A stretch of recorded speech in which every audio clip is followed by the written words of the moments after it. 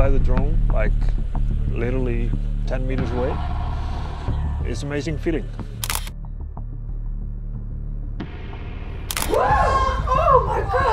The tranquil landscape of southwestern Iceland has just been rudely interrupted by a seismic event of cataclysmic proportions.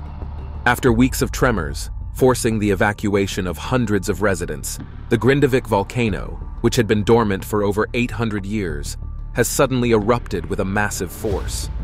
A 100-foot crack ripped through the Earth's crust, spewing out dazzling jets of lava and billowing clouds of smoke. What triggered this explosive event? How does it rank among the history of volcanic eruptions in Iceland? And what are the implications for the environment and humanity? I want to talk about the situation in Iceland because more than 500 earthquakes were recorded in southwest Iceland on Monday, shaking houses, damaging roads, and leading to hundreds of evacuations. Join us as we delve into the recent event that has erupted in Iceland and its far reaching implication. Before we delve into the recent volcanic eruption that has occurred in Iceland, it's important to understand some context. Iceland is a unique country in many ways. It is the most sparsely populated country in Europe, with only about 360,000 people living on an island of 39,768 square miles. That's roughly the size of Virginia, but with less than 5% of its population. It is also one of the youngest land masses on Earth, formed by the collision of two tectonic plates, the North American plate and the Eurasian plate. These plates are moving apart at a rate of about one inch per year, creating a rift zone that runs through the middle of the country.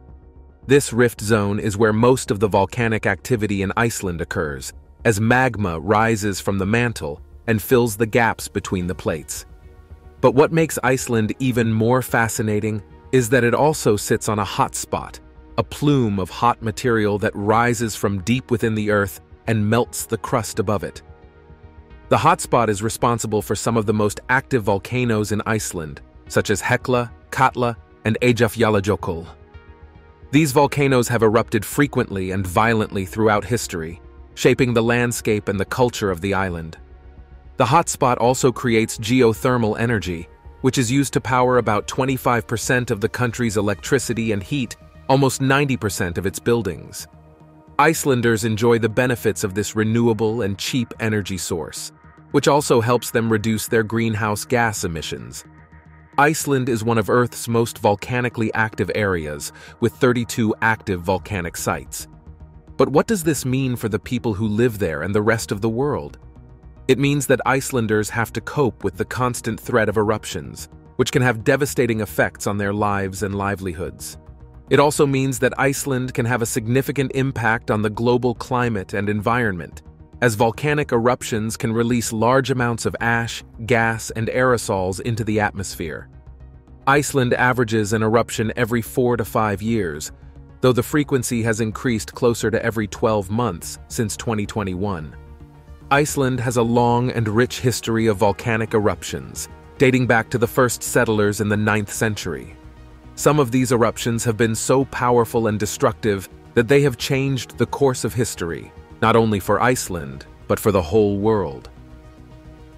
One of the deadliest eruptions was the Laki eruption of 1783 to 1784, which killed about a quarter of the population and caused a famine that lasted for several years. The eruption also affected the climate of Europe and North America, causing crop failures, droughts, and cold winters. Some historians believe that this eruption contributed to the French Revolution and the American War of Independence, as it increased social unrest and political turmoil. Another notable eruption was the Askja eruption of 1875, which created a large caldera and a lake that is now a popular tourist attraction. The eruption also triggered a mass emigration of Icelanders to North America, seeking a better life. About 15,000 people left the island, which was about 20% of the population at the time. A more recent example is the Surtsey eruption of 1963 to 1967, which created a new island off the south coast of Iceland. The island is now a UNESCO World Heritage Site and a natural laboratory for studying how life colonizes new land.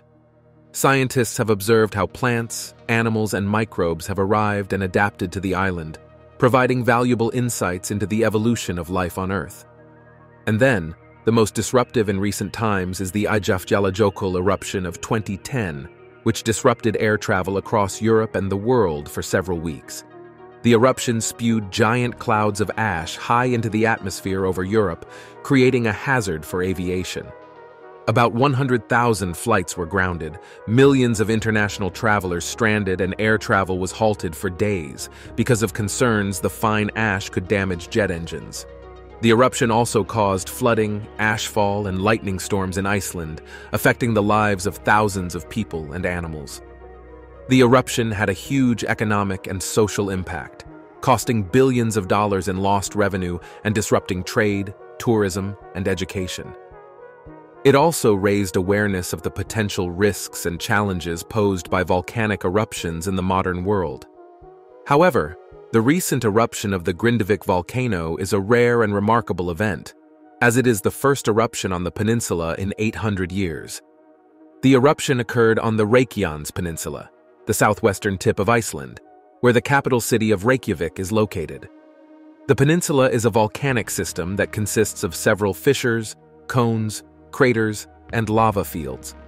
The system has been dormant for about 800 years, until recently. But what triggered this sudden awakening of the volcano? It all started on December 18, 2023, at 10 p.m. local time, when a large earthquake of magnitude 5.7 shook the peninsula, followed by hundreds of smaller aftershocks. The earthquake was the result of a magma intrusion, a process where magma forces its way through the crust and creates pressure and cracks. The magma then reached the surface, and a volcanic eruption began. This was the first sign that something extraordinary was happening on the peninsula, something that had not been seen for centuries. The eruption site is located about 5.6 miles northeast of the town of Grindavik, and about 19 miles from Reykjavik. The eruption is occurring along a 2, 5 miles long fissure, which has six segments that are active at different times. The fissure is oriented in a northeast-southwest direction, parallel to the rift zone. The eruption is classified as a Hawaiian-style eruption, which means that it produces fluid lava flows and fountains, rather than explosive ash and rocks, this type of eruption is relatively mild compared to other types of eruptions that can be more violent and dangerous. However, it poses immense risk, which we'll look into soon. According to the Icelandic Meteorological Office, the lava eruption rate is estimated to be about 8,828 cubic feet per second, which is the highest in Iceland since the Holuhraun eruption of 2014 to 2015. The lava is basaltic, which means that it has a low viscosity and a high temperature, ranging from 2034 to 2192 degrees Fahrenheit. The lava flows are advancing at a speed of about 32 feet per hour and have covered an area of about 10 square kilometers so far. The lava is also emitting large amounts of volcanic gases, such as carbon dioxide, sulfur dioxide, hydrogen sulfide, and water vapor. Meteorological reports show that lava fountains from the eruption reached as high as 100 feet. The eruption is visible from space, as satellites have captured stunning images of the lava glow and the gas plume. The eruption is also attracting thousands of visitors who are flocking to the peninsula to witness the spectacle.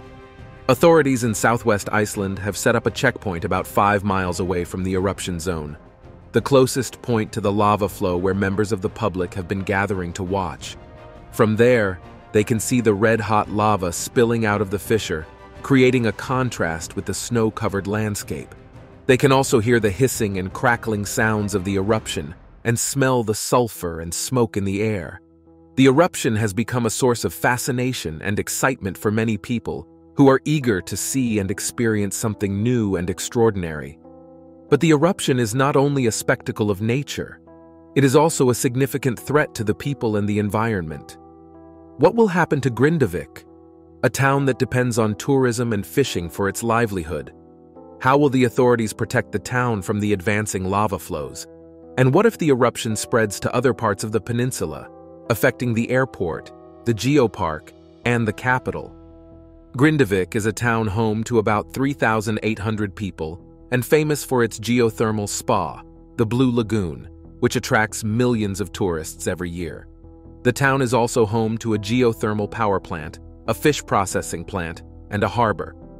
All these facilities are at risk of being destroyed by the lava, which is following the natural topography of the land.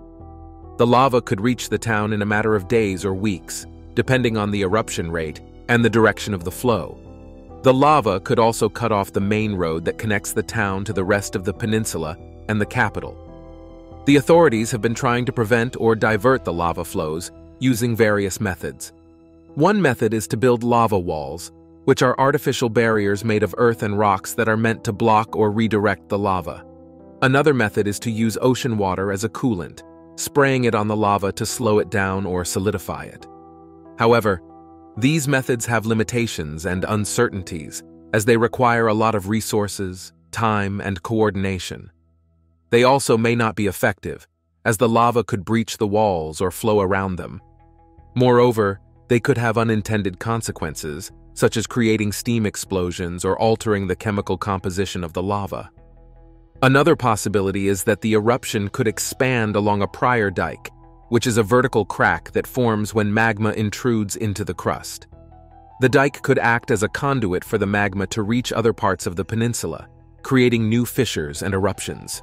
This could have a direct impact on Grindavik, as the dike runs underneath the town. The dike could also affect other areas, such as the Keflavik International Airport, the main gateway to Iceland, or the Reykjanes Geopark, a UNESCO global geopark that showcases the geological diversity and heritage of the peninsula. The authorities have issued urgent safety warnings, advising people to stay away from the eruption site and the lava flows. They have also taken measures to protect the public and the environment, such as closing several roads and trails and setting up checkpoints and cordons to control the access and the traffic. They have also prepared evacuation plans and shelters in case the situation worsens and the town needs to be evacuated. The authorities have also been monitoring the air quality and the gas emissions, as they pose a serious health hazard for humans and animals. The gases can cause respiratory problems, irritation, headaches, and nausea. They can also affect the vegetation, the soil, and the water sources. The authorities are doing their best to ensure the safety and the well-being of the people and nature, but they are also facing many challenges and uncertainties. The authorities have also been collaborating with scientists and experts who are studying the eruption and its effects. The scientists have been collecting data and samples using various instruments and methods such as drones, helicopters, seismometers, GPS, cameras, and sensors. The scientists have also been communicating with the public, providing updates and information, and answering questions and concerns. The scientists are trying to understand the eruption and its implications, but they are also fascinated and curious about this rare and remarkable event. The eruption has also sparked a lot of interest and curiosity, not only among the locals and the visitors, but also among the global community. The Reykjanes eruption is a rare and remarkable event, as it is the first eruption on the peninsula in 800 years as mentioned earlier, and the first in this specific location in about 6,000 years. But what triggered this sudden awakening of the volcano? And what are the factors that influence its behavior and evolution? These are some of the main questions that scientists are trying to answer, and they've identified several possible factors responsible for the eruption. One of them is the tectonic stress, the force that results from the movement of the plates. When the stress becomes too high, it can fracture the crust and create pathways for the magma to rise. Another factor is the magma supply, the amount and the composition of the magma that is available in the mantle and the crust. The supply can affect how fast, how hot, and how gassy the eruption is. A third factor is the pre-existing structures, the cracks, faults, and dikes that exist in the crust. These structures can act as conduits or barriers for the magma, influencing where and how it flows. Finally, there are the external factors, the events or conditions that affect the eruption from the outside, such as the weather, the climate, the ocean, and the human activities. These factors can affect how visible, how accessible, and how impactful the eruption is. The Reykjanes eruption is not an isolated event but one of the many examples of how volcanoes can affect and shape the Earth in profound and often devastating ways. Volcanoes are natural features that result from the movement of tectonic plates, which are large pieces of the Earth's crust that float on the molten mantle. When these plates collide, diverge, or slide past each other, they create cracks or openings in the crust, through which magma, gas, ash, and other materials can escape from the interior of the Earth. Volcanoes can have various effects depending on the type, the size, and the location of the eruption. Some of these effects are lava flows and pyroclastic flows. These are fast-moving and destructive streams of molten rock and hot gas that can incinerate, bury, or displace anything in their path. Lava flows can create new landforms, such as islands and volcanoes, or destroy existing ones, such as forests and villages. Pyroclastic flows can travel at speeds of up to 700 kilometers per h and can reach temperatures of up to 1000 degrees C, making them extremely dangerous and deadly. Volcanic gases. These are substances that are released from the magma, such as carbon dioxide, sulfur dioxide, hydrogen sulfide, and water vapor. These gases can cause respiratory problems, irritation, headaches, and nausea for humans and animals.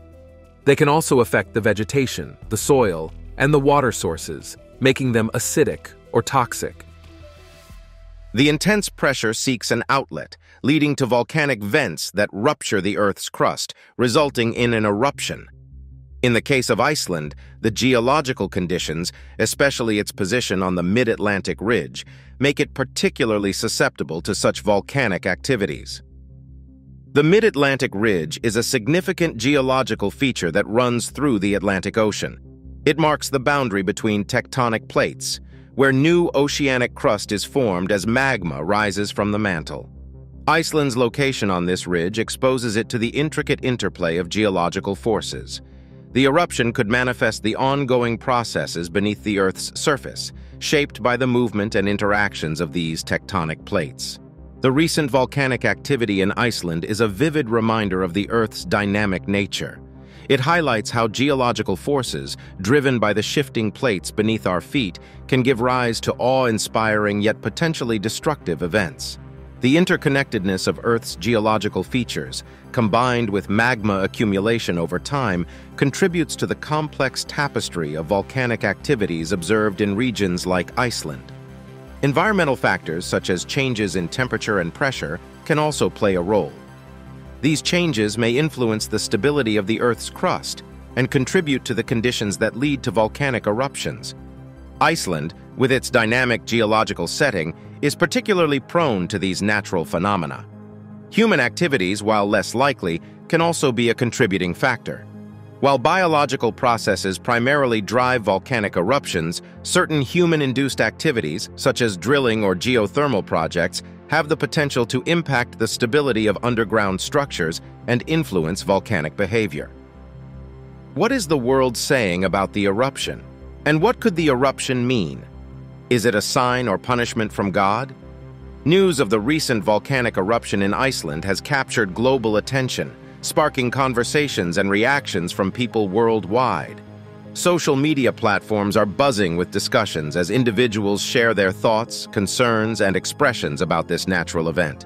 Many people are expressing awe at the power of nature, appreciating the stunning visuals of the erupting volcano. Photos and videos circulating online capture the raw beauty and force of the eruption, creating a sense of wonder among viewers. The vibrant colors of molten lava against the night sky have become a captivating spectacle, and people from various corners of the globe are marveling at the forces that shape our planet.